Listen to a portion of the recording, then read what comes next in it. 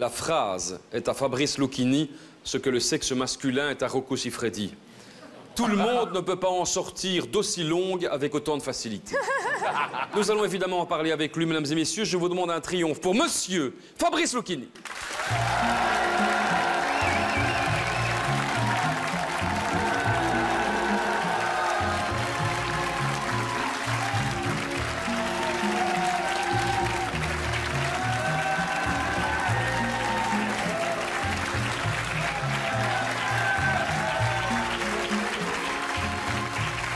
Fabrice euh, Lucchini, bonsoir.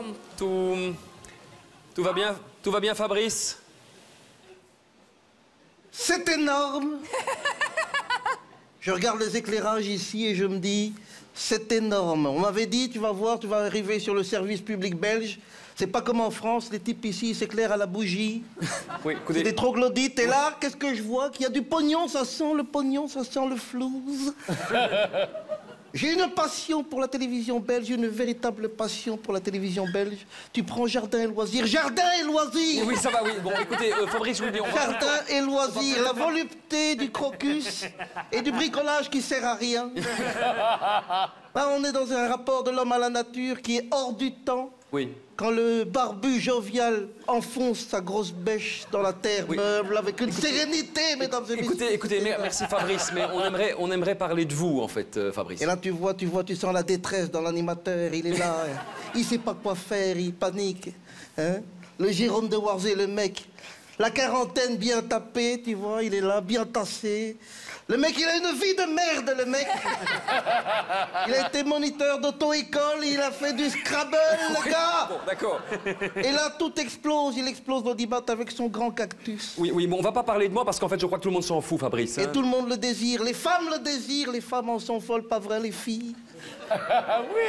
Y a pas Pas vrai, les filles?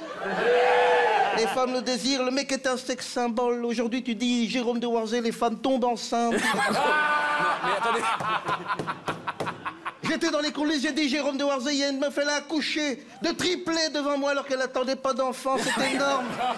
Il faut le dire, c'est ça de Warzé, il faut le dire, il faut le dire, c'est lui qui a écrit le texte. oui, d'accord, d'accord. Et vous avez, non, ça, c'était pas drôle, ça. Et vous avez, alors, vous avez annoncé dans une interview qu'on vous avait sollicité pour rejoindre l'Académie française et que cela vous tentait, Fabrice. Mais on s'en fout, l'Académie française, on s'en fout. Moi, ce que je suis en train de te dire, de Warzé, Oui. c'est que je veux rejoindre l'équipe du Grand Cactus. C'est ça que je veux faire, les gars. C'est ici que ça se passe. Ah, parce que vous connaissez notre émission. Le mec me demande si je connais son émission. Il me fait venir ici, il me demande si je connais son émission. Le mec, il est énorme, il est énorme. Tout le monde, je l'adore cette émission. Regarde le De Viver, il est là, le De Viver. Le beau gosse par excellence, sûr de lui, il est là, tu vois. Un l'air de dire, euh, je me la pète pas trop, mais je sais que je vais toutes les baiser. Regarde-le, il est là, il est là.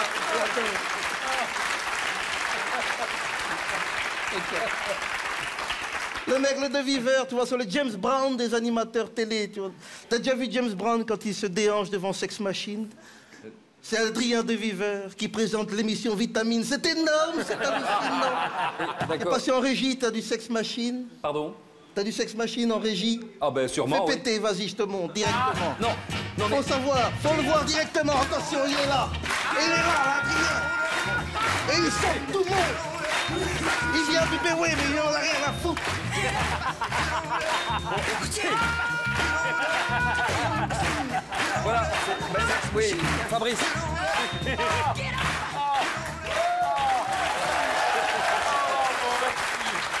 Bon. Je... Je, dis- je disais donc que vous aviez envie qu'elle qu'elle déhanchait, c'est hallucinant. Vous aviez envie de rentrer à l'Académie française. Et regarde le. Le Jean Motte, alors. Non mais attendez, Il y a une recherche capillaire chez la Jean Motte. À mon avis, il y a du travail, on sent le travail, on sent la sueur. Il n'y a pas que du cheveu humain là-dedans. Il y a du crin de cheval, il y a de la touffe de vierge en chaleur. Il y a un écosystème dans la coiffure de Jean Motte. C'est énorme, c'est vivant, it's alive, it's alive J'adore, j'adore. La cordula, elle peut aller se suicider. vous n'allez pas nous faire le portrait de tous les chroniqueurs, on va quand même parler de vous. Non. Ah. Livia Dushkov. Non, attendez. La Livia Dushkov. Livia Dushkov. Je sais pas si t'entends. Vladimir Poutine avec une paire d'ogives nucléaires transalpines. La meuf, tu sens qu'elle peut t'exploser à la tronche à n'importe quel moment. Oui. Puis cette dentition parfaite. Tu la longes sur l'autoroute. Tu peux voir une molaire depuis la station Mir. C'est énorme, Livia Dushkov, c'est énorme. Bon, écoutez. On vous entend.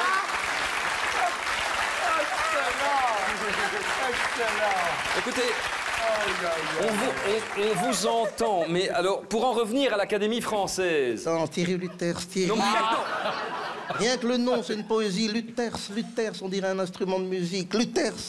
Le mec, il est capable de te dire la filmographie du quatrième violon dans le film La Grande Vadrouille. Le mec qui jouait le quatrième violon, personne ne le connaît. Lui, il connaît toute sa filmographie. Le type peut te faire la biographie de tous, tous les occupants du cimetière de Robertmont. C'est te dire la vie de merde du gars.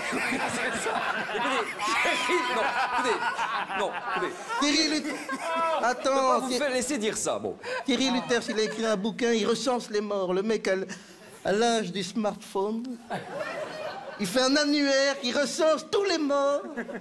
Dernier domicile connu. Le titre est brillant. Joli jeu de mots. C'est énorme, parce que le Luthers, il te ment pas, tu vois. Non. Le Luthers. Il te ment pas, le Luthers, il te regarde et dans son livre, qu'est-ce qu'il dit? Il dit Je vais te faire connaître toute une série de personnages que tu savais même pas qu'ils existaient. C'est vrai Et te faire croire que ça t'intéresse, c'est énorme Moi, j'ai lu, j'ai lu le livre de Luthers. j'ai Ah, oui, C'est vous- moi qui l'ai lu. Oui, c'est vous qui l'avez lu. Ah, tu veux que je te dise Oui, bah dites-moi, oui. Je vais en faire un spectacle. Je vais en faire un spectacle, ça va être énorme, ça va s'appeler Fabrice Lucchini. Lit Thierry Luther. Oui, ça. C'est énorme. Je peux t'en faire un extrait si tu veux. Oui, non, mais vous savez, c'est pas peut-être pas tellement le moment, en fait. euh, Montrez bien la couverture quand même. mais Je te montre la couverture parce que tu vois. Oui, oui, mais Je attendez. précise quand même que c'est moi qui l'ai acheté ce livre. Oui. Le jour où Thierry Luther t'offre un livre, c'est que toi-même tu es mort.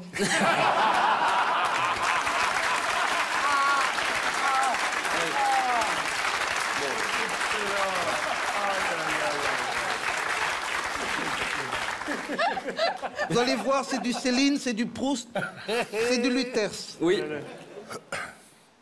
Il faisait brumeux ce matin-là sur le cimetière de Grassologne.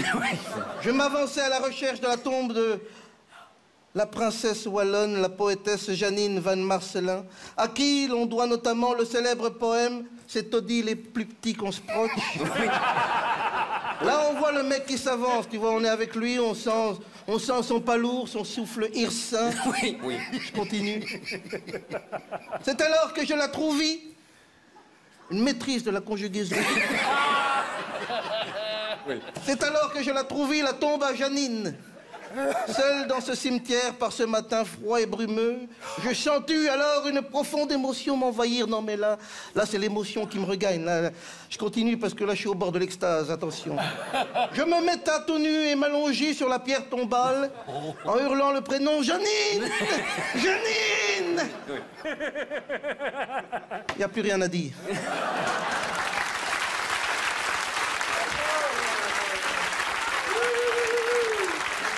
Je l'adore, celui-là, je l'adore. Il n'y a plus rien à dire. Là on, là, on touche les anges, on tutoie les étoiles. C'est énorme. C'est énorme. Il y, a- il y a eu deux moments importants dans l'histoire de la télévision. Le premier homme qui a marché sur la Lune et ceci de Warzé. Ceci. C'est d'accord. Oui, mais j'avoue que je ne mesure pas bien l'ampleur de la chose. hein, Je moi. mesure pas bien l'ampleur de la chose. Là, tu le vois encore une fois, le de Warzé, il est là. Hein il n'a pas l'érection facile, il sait pas quoi dire.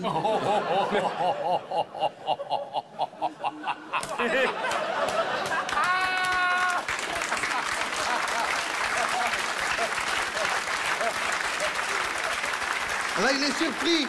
Il est surpris parce que c'était pas prévu, évidemment. hein. Toujours dans l'ironie, toujours dans le détachement, le de Warzé, il sait pas, il sait pas, il sait pas. Alors qu'on sait ce qu'il pense vraiment de tout ce public, hein, que c'est un public de merde. Non, non, mais non, mais, mais ça, mais David. Vas-y, dis-le, dis-le ce que tu penses vraiment. Mais hein. pas- il est tout en retenue, mais il n'en passe pas moins. Mais ce n'est pas vrai, enfin, j'ai jamais que tu pensé les ça. détestes, que ce sont des ploucs, des ploucs. Allez, Mais, mais, vas-y. jamais la vie, arrêtez, je ne pense pas ça. Alors bon. Bon. Ah oui, on rajoute du texte, mais quand il y en a, on sait plus. Hein,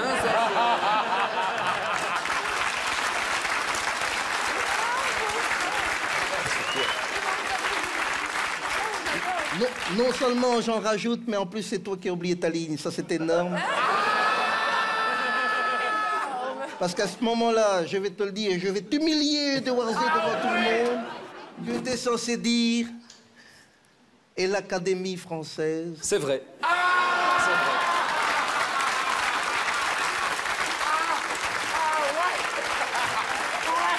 Mais, mais excusez-moi, Fabrice Lucchini et l'Académie française. Mais on s'en fout de l'Académie française, je te le dis depuis le début, on s'en fout de l'Académie française. Hein, tant qu'à tutoyer des génies, alors autant parler de Cody. Alors ça, c'est un génie. Oui. Oui, il faut savoir qu'à côté de lui, tous les humoristes français font que se toucher la nouille. Oui, c'est pas dans le texte non plus, hein. Je sais, je l'ai rajouté. Ah oui, ça, ça, d'accord, parce que... je- Bon, mais bon, écoutez, bon, voilà.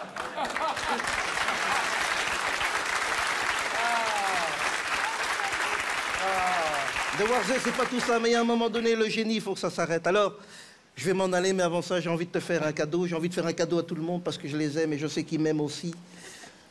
Je vais vous faire un petit poème, hein, La Fontaine, mais version belge, ça vous dit? Ah ben, avec plaisir. Et euh, La Fontaine version belge, et ça se présente comment, alors, Alors tu vas Fabrice? voir, c'est énorme, La Fontaine version belge.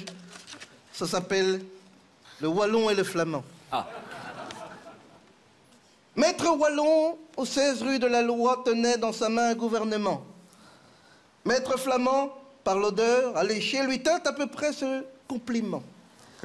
Et bonjour, monsieur le Wallon, que vous êtes joli, que vous me semblez beau.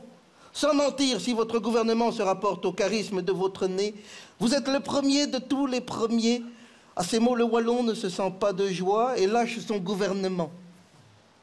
Le flamand s'en empare et dit Pauvre Wallon, apprends donc cette leçon si un jour avec moi tu fais une coalition. En pensant que cela fera de toi le premier des Wallons, sache que moi, je ne vise que la séparation. Et qu'au final, toi, tu auras l'air d'un gros couillon. Cette leçon vaut bien un hommage, sans doute. Ah oui, ça, j'ai envie de dire, c'est énorme Mesdames et messieurs, Fabrice Lucchini.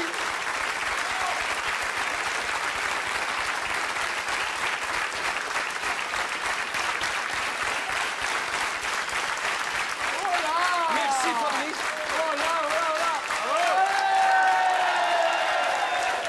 Vous voulez un